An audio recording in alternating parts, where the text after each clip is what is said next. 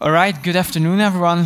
Thank you very much for uh, being here, for spending your lunch here to learn about Sigfox. My name is Nick de Cooman. I'm IoT solution architect for In the Pocket. We are a mobile and IoT agency based in Ghent. So just to be clear, I am not working at Sigfox. I'm not involved in any of their activities. I'm just an early believer, and I hope to make a believer from you as well by the end of this presentation. Let me get started with a simple question. The Internet of Things. We all know its definition. It's the fact that soon all devices near us will be connected, will be connected with each other, with the Internet. But the question I have is the following How are these things going to be connected? Which technologies are we going to use to establish that all these devices are going to be connected? Connected to each other, connected to the internet. To answer this question, let's take one step back and see which solutions current IoT applications use. How is it that they achieve connectivity and what are their limitations? First group of devices that we can identify is what they call smart home devices. Devices like the home, uh, the Nest thermostat, Philips Hue, and at the right you see the Luna smart mattress, which is a mattress capable of tracking your sleeping pattern. These devices, they're all situated in your home. They are connected to the electricity grid. So they don't really need, um, I mean, um, energy consumption is not really an issue here. And most likely, they are also not going to be moved around often. So these devices, they sit in your home, and the best way, obviously, to connect them is to have Wi-Fi connected. So all these devices here, they use Wi-Fi to connect to each other, to connect to the internet, and obviously that makes a lot of sense. Second group of devices are the more portable things, things like a smartwatch or a wearable or an iBeacon or this style thing, which is some sort of activity tracker. Devices like this, these are categorized by the fact that they are compact. They run on usually a small battery, and so therefore for these, um, power consumption for them is super, super important. Finally, most likely, they are also going to make use of short-range communication, and so therefore, for these devices, Bluetooth is best fit. Um, Bluetooth is being used just to broadcast the data all the way to your smartphone, and then your smartphone is going to take care of it himself. So up till now, we saw two distinct groups of devices. On the one hand, the smart devices with the Wi-Fi. On the other hand, more portable devices running on Bluetooth. Obviously, if you think about the Internet of Things, we can envision far more applications and devices. Devices like, for instance, your car that you want to lock and unlock remotely, or, for instance, this smart trash can. The city of Brussels, for instance, bought 30 of them, and this trash can um, is capable of sending a notification when it is full and needs to be empty. So all these devices, they are quite different from the ones that we just saw. They are not inside your home, they're probably somewhere outside. And they do require strong connectivity, so they need to have direct access to the cloud. How this is solved today? Well, all these devices, they have actually a SIM card inside. So they use 3G and 4G to have connectivity today. But you feel that this is not ideal. I mean, um, 3G, 4G, it's, it's often quite expensive, especially for these use cases. They also rely on a local telecom provider and they're therefore not very scalable. So even though these solutions today make use of 3G, 4G to reach connectivity, this solution is not very ideal. So if you compare these different types of connectivity, you can basically see two groups of them. On the one hand, you have Wi-Fi, 4G, 3G. Both offer strong connectivity, meaning that they have direct access to the internet. Data package that they can send are rich, so they can be videos, they can be photos, very rich data. But this implication is that they consume high power, so they, they have a high power consumption. On the other hand, you see Bluetooth. And Bluetooth is short-range communication. It's soft connectivity, so you don't reach the internet with it. But the data packages that are being sent with these, they're small, and therefore they only consume low power. So this is already okay for the, the, the, groups that we just saw, but as I said before, if you think about all the devices that we will have in the Internet of Things era, everyday devices, then we see that both are not really ideal for us. We need like a combination. So what we exactly need is, is the following. On the one hand, we need strong connectivity. We need these devices to be directly connected to the internet, so strong connectivity. Data packages, they can be small. Uh, we don't necessarily need to send videos and, and images, what we only want to send is small data like status updates or, or some sort of coordinates. That's, that's more than enough for these devices. And as these devices um, are usually not connected to the electricity grid, we want them to have low power consumption. So it's important that we reduce the energy consumption as much as possible. Meet Sigfox. Sigfox is a cellular network especially dedicated to connect things that we will see in the Internet of Things era. It offers strong connectivity, so it offers direct access to the internet. It allows very tiny data package to be sent power consumption is low, and for those reasons, Sigfox is significantly cheaper than um, other solutions than 3G and 4G, for instance. So this makes um, Sigfox ideal to um, connect everyday things to the internet.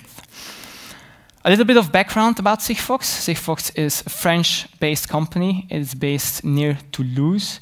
It was already founded in 2009. It has 80 employees, and only the beginning of this year it received a funding round, round of 150 million euros.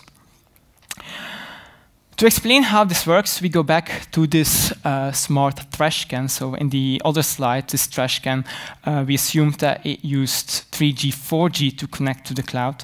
This is, let's say, trash can 2.0 that we um, use a Sigfox module for. So this trash can will notify that when it's full using Sigfox. And to do this, it needs to have a Sigfox ready module. And you have to see this um, like a Bluetooth module, for instance. Well, instead, now it needs to have a Sigfox module. This Sigfox module is capable of sending Sigfox messages, and each of these messages is automatically authenticated using a hashing mechanism, using a private key specific for each device. So this device then emits these messages in the available frequency band. And then you have some Sigfox base station. And these base stations, they listen for all the Sigfox messages that they receive. And note that there is no negotiation necessary between the device and the Sigfox base station. So there's no handshaking. Message can simply be sent and received.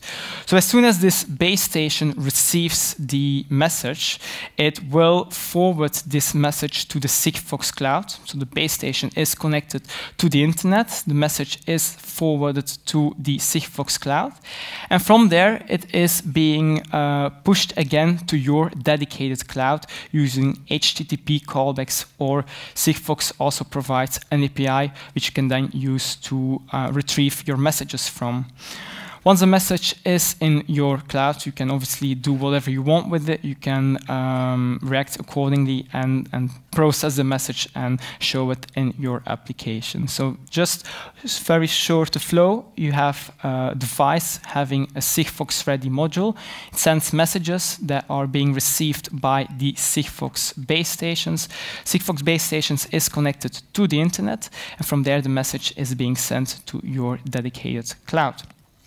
To give you an idea about these base stations, um, base station can uh, receive 1 million messages a day.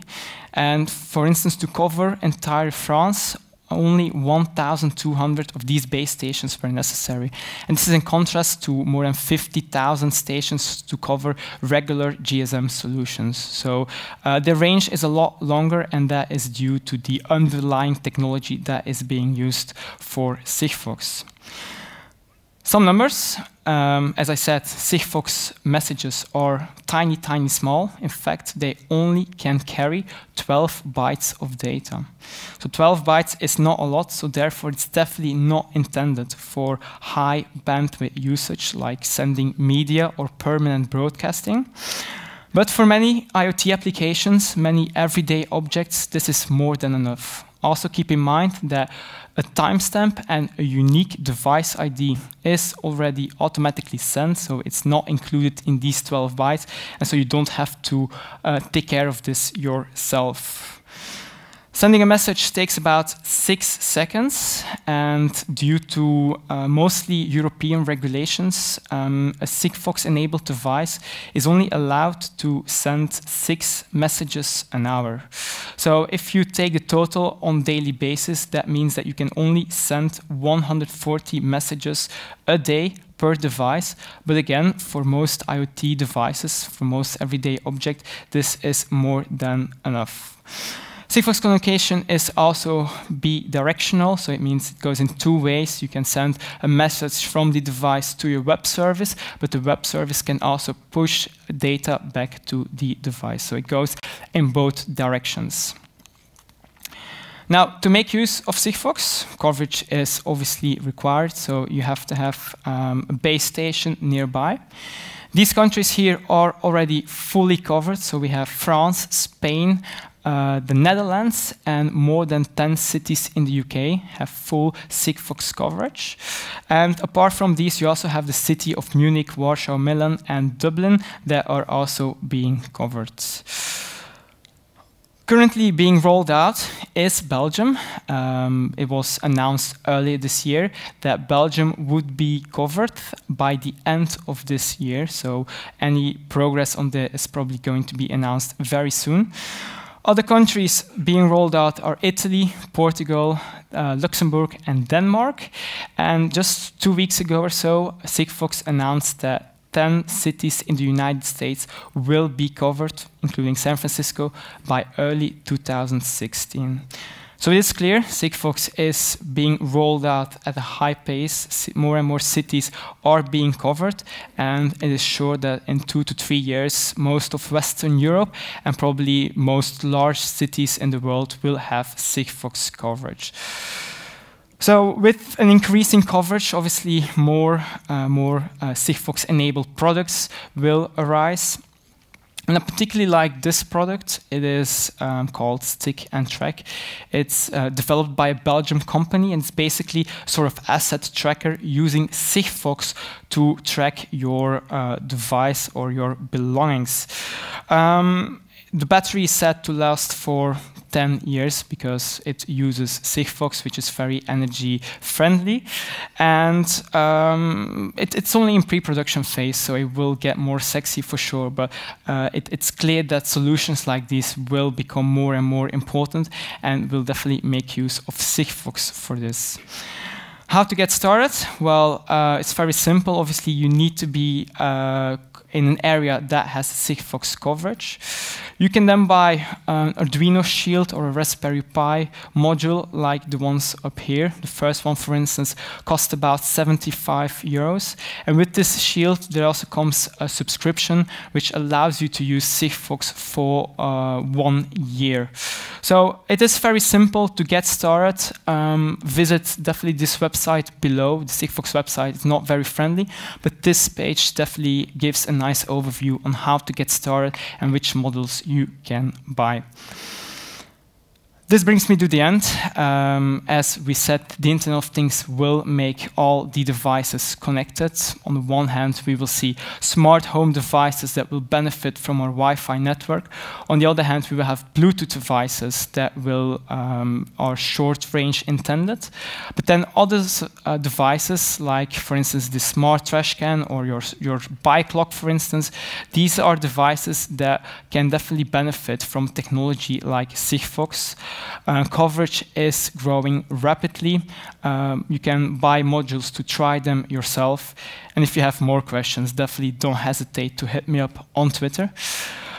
This was only a very brief introduction, so definitely keep your eyes on Sigfox and um, enjoy the rest of Devoxx. Thank you very much.